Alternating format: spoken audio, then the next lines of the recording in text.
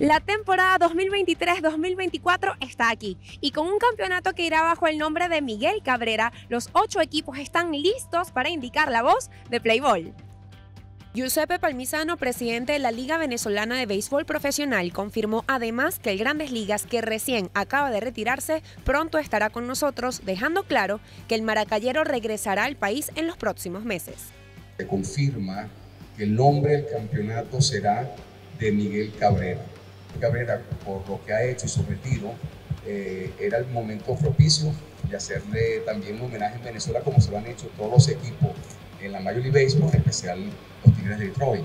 Además, Palmisano agregó que el béisbol venezolano goza en la actualidad de un buen crecimiento en cuanto a la audiencia en la región. De, profesional de béisbol que tiene la mayor audiencia en digital en Latinoamérica. Este dato nos dio la Confederación del Caribe, por lo cual eso dice mucho lo que ha crecido eh, la audiencia de nuestra liga.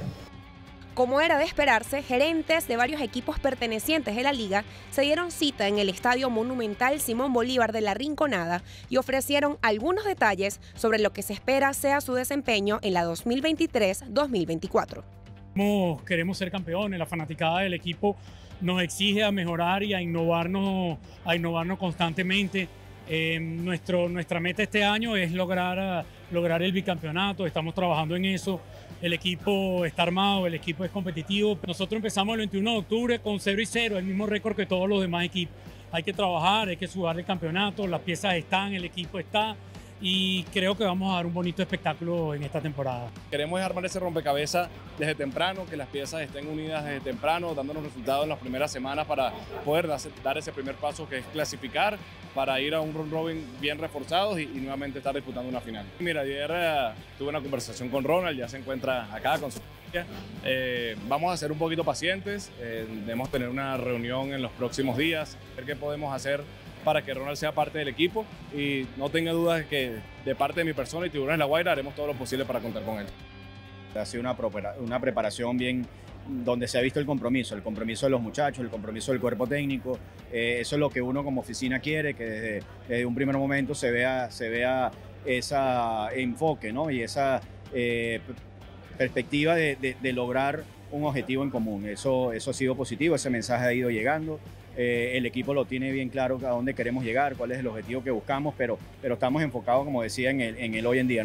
Esperemos que Cairo y el staff que lo acompaña, donde está Rubla Jodor, donde está Ramón Hernández, donde está Gerardo Casadiego, Robert Pérez, Julio Mosquera, Clemente Álvarez, quien regresa a la organización, sea un staff de primera línea como ah, eh, pretendemos haberlo seleccionado.